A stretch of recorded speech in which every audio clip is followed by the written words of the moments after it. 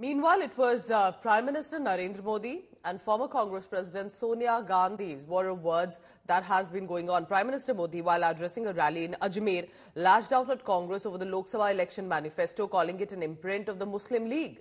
On the other hand, Sonia Gandhi rained fire on Prime Minister Modi, accusing him of destroying the country and India's democracy. Take a look of how between Prime Minister Modi and former Congress President Sonia Gandhi, there had been a huge political war of words over Saturday.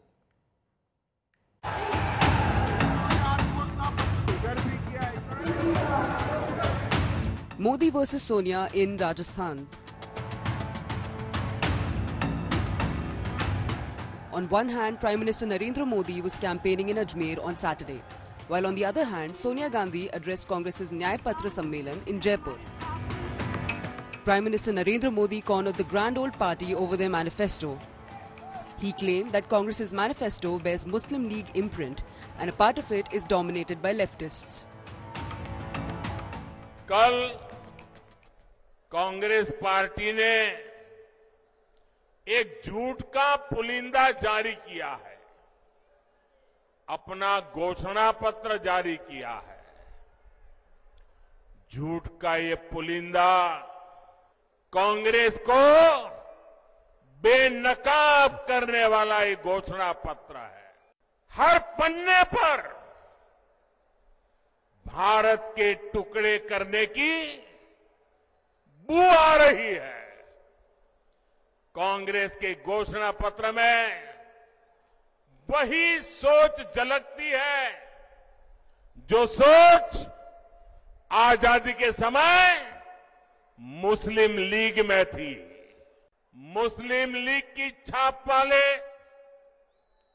इस घोषणा पत्र में जो बचा खुचा हिस्सा था उसमें वामपंथी लेफ्टिस्ट हावी हो गए हैं Finance Minister Nirmala Sitharaman pointed at contradictory statements in Congress's manifesto. She also claimed that they didn't have a budget to fulfill their promises. उनके मैनिफेस्टो में कम से कम तीन चार जगह पर म्यूचुअली कॉन्ट्रडिक्टिंग स्टेटमेंट्स है और प्रोमिस ऐसे दे रहे हैं जो इम्प्लीमेंट करने में बजट में तो इतना घाटा होगा पैसा बचेगा ही नहीं। सोनिया गांधी जी के स्वागत के लिए। Former Congress president Sonia Gandhi launch fierce attack on prime minister Modi in Jaipur she accuse of destroying the country's democracy She even alleged that a conspiracy is being hatched to change our दुर्भाग्य से आज हमारे देश में ऐसे नेता सत्ता में विराजमान हैं।